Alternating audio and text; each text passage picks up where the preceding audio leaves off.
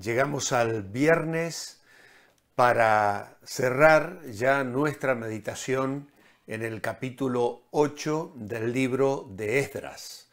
El domingo pasado, al meditar sobre el capítulo 7 y 8, Alan nos decía que el camino del éxito comienza con una preparación diligente.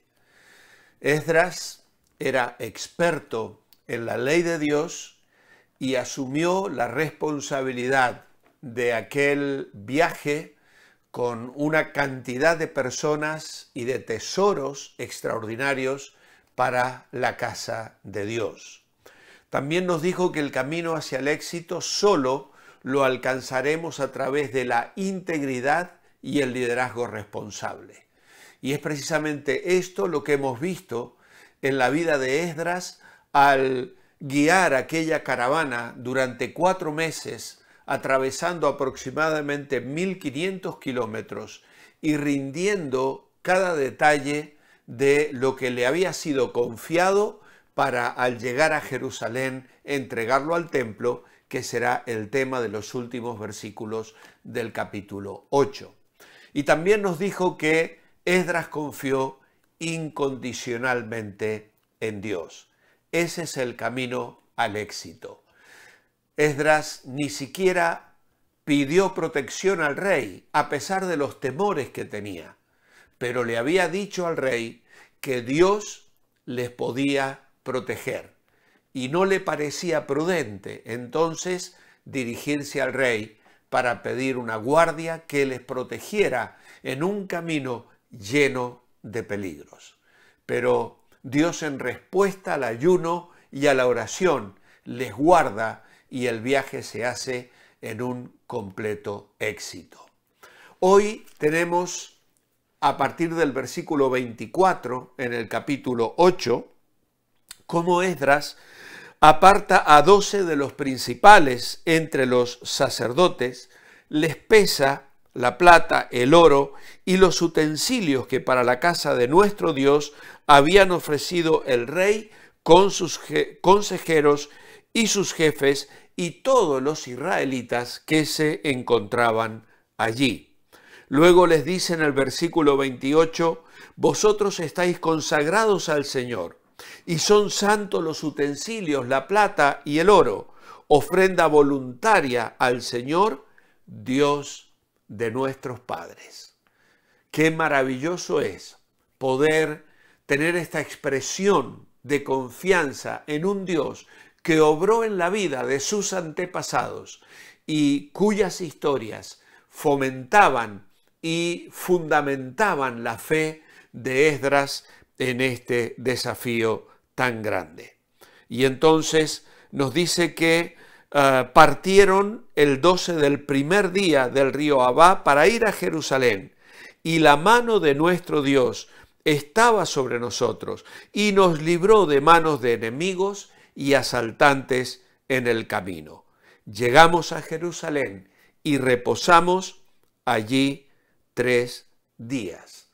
Otra vez encontramos lo mismo, tres días de oración y de ayuno, preparándose para el viaje tres días para hacer un alto y reflexionar, expresar la gratitud y recobrar fuerzas después de casi cuatro meses atravesando 1.500 kilómetros para llegar desde la capital del imperio a la ciudad de Jerusalén.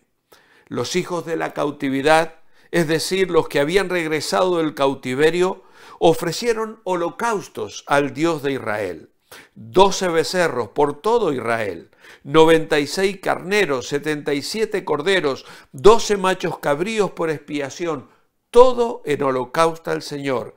Y se entregaron los decretos del rey a sus sátrapas y capitanes al otro lado del río que ayudaron al pueblo y a la casa de Dios. Así que nuevamente encontramos un tremendo ejemplo de delegación de responsabilidades. ¿Cuántas cosas podemos aprender aquí? no podemos hacer todas las cosas. Necesitamos, debemos reconocer los dones que Dios ha dado a otras personas y confiar en que ellos van a cumplir su tarea con responsabilidad y temor a Dios. Esto es lo que Esdras hizo al entregar todos aquellos bienes a sacerdotes que luego rindieron cuenta y estaba todo tal cual les había sido entregado. Así es como la iglesia debe funcionar. Esdras les comunica con claridad sus expectativas en cuanto a lo que ellos debían hacer, pero resalta su consagración a Dios por sobre todo lo demás. Eso es lo primero, contar con personas que amen a Dios y tengan clara su relación con Él. Emprenden el viaje bajo el cuidado y la protección divina y al llegar a su destino nuevamente hay tres días, pero esta vez para descansar, reponer las fuerzas perdidas en más de 1500 kilómetros recorridos. El viaje de regreso a Jerusalén se contiene en un relato muy breve en los versículos 31 y 32, pero da la pauta para considerar lo que teológicamente significó para Esdras y para la gente que lo acompañó. Por antecedentes sabemos que los preparativos para el viaje se iniciaron el primero del mes primero, el primer día del primer mes. La fecha de la partida fue el 12 del mes primero lo cual se extiende en el contexto del tiempo que se requirió para organizar y preparar todo el viaje. No se nos dice la ruta que siguió la caravana, pero es seguro de suponer que sería por alguna ruta bastante conocida y transitada comercialmente. Aventurarse a ir por alguna ruta menos conocida hubiera sido un viaje muy peligroso. Esto es obvio, sabiendo que el pueblo después de todo tuvo un viaje seguro, con éxito, pero todo fue porque la mano de Dios estaba sobre ellos. Era un viaje de aproximadamente cuatro meses. Y esto engrandece la manifestación de Dios en protección, en su providencia, en su cuidado, librándoles de la mano de los enemigos, de asaltantes en el camino aun cuando no se dice si sufrieron ataques o salieron con bien, simplemente no hay detalles, parece ser que no hubo ni siquiera amenazas. Y entonces, antes de disolver la caravana eh, y que cada uno siga su propio camino, toman tres días para descansar juntos y orar. El oro, la plata y otras ofrendas son entregadas a los sacerdotes en Jerusalén. Es el primer asunto que preocupa a Esdras, entregar todas las ofrendas para el templo que venían desde la capital y desde el pueblo que aún se había quedado atrás. Entregan a los responsables del tesoro y ponen detalle por detalle cada una de las cosas que las personas habían recibido en Babilonia y que ahora, contado por peso y por pieza, son entregadas, corroborando las cantidades y encontrando que según todo lo contado y pesado en Babilonia antes de emprender el viaje, ahora es entregado en el templo. Sin duda esto fue un respaldo para el ministerio y la autoridad de Esdras ante el rey y ante las personas que estaban ejerciendo su ministerio allí en Jerusalén. Una vez que se entrega todo lo que habían traído, entonces es el momento de celebrar y gozarse en las bendiciones, porque el pueblo de Dios y la casa de Dios estaban recibiendo la ayuda que necesitaban. Alabanzas y sacrificios a Dios por parte de los recién llegados. Luego ofrecen holocaustos al Dios de Israel en representación de las doce tribus de Israel. La experiencia de adorar a Dios en el templo en Jerusalén debe haber sido algo muy especial para este grupo. Estos sacrificios ofrecidos expresaban gratitud, alabanza y de manera especial expiación.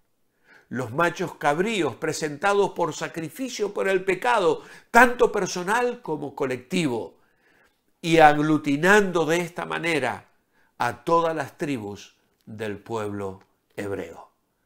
Hoy nosotros no miramos a un altar ni a un templo. Hoy recordamos una cruz donde quedó consumada nuestra salvación. Y como ellos, celebramos con alabanza y gratitud.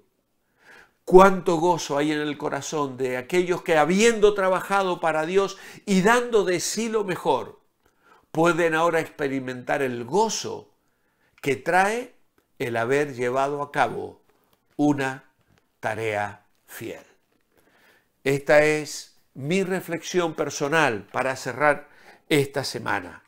Esdras confió en Dios incondicionalmente administrando con sabiduría y fidelidad y responsabilidad todo cuanto se le confió.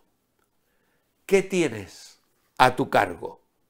¿Cómo administras tu vida, tu tiempo, tu salud, tu familia, tus dones espirituales, tu participación en la iglesia en la que el Señor te ha colocado? Puedes sentir que Dios te aprueba y se goza al ver que lo que te confió lo estás administrando fielmente? Amado Padre, haznos administradores fieles. Ayúdanos a que como Esdras trabajemos para ti, administremos nuestra vida y con ello te glorifiquemos cada día hasta aquel momento en que nos presentemos delante de ti a rendirte cuentas en el tribunal de Cristo.